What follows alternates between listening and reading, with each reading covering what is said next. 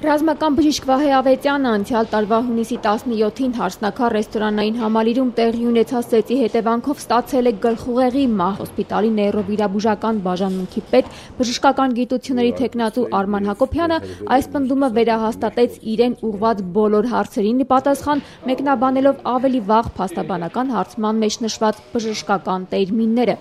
Ես կարող եմ ասել, որ արկա էին գլխուղի մահվան մասին վկայող կլինիկական եւ պարակլինիկական տվյալներ։ Եթե հետաքրում է Վայ Ավետյանի մոտ հարց, եթե դուք գալիս եք դրան արդյոք կարելի է ախտորոշել գլխուղի մահ թե ոչ, իմ մասնագիտական կարծիքով այո, դրա մասին վկայում են եւ կլինիկական եւ ել եմ կրկնում պարակլինիկական հետազոտության արդյունքները։ Բժիշկը տարբեր ձևակերպումներով վերահաստատեց նաև, որ նման վնասվածքից ապակինվելն անհնար է։ Հրազենից կարող են ապակինվել, բայց այնիշ չէ։ Մի կիսագունդը այնքան էր այտուցված, որ այտուցվել եւ ներհրվել էր մյուս կիսագնդի մեջ 4 սանտիմետրով։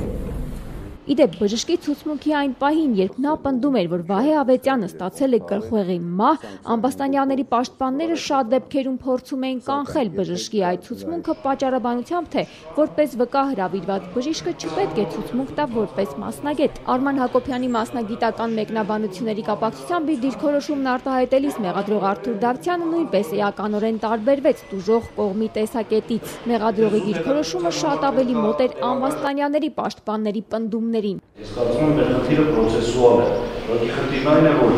վաղը մենք մեր դիրքորոշումներում դատարանը դատական ակտում չի կարող վկայակոչել որպես վկա հարցակնվող Արման Հակոբյանի կողմից հայտնած մասնագիտական տեղեկություններ։ Տուժողի իրավահաջորդի ներկայացուցիչ փաստաբան Տիգրան Եգորյանը նշեց, որ բժշկի այսօրվա հարցաքննության ժամանակ հայտնած տվյալների հետևանքը կարող է լինել ամբաստանյաներին ավելի խիստ պատիժ ենթադրող մեղադրանք առաջադրելը։ Հիմա մեր կողմից հրավիրված վկան, հա, հայտնել է այնպիսի տեղեկություններ, որոնք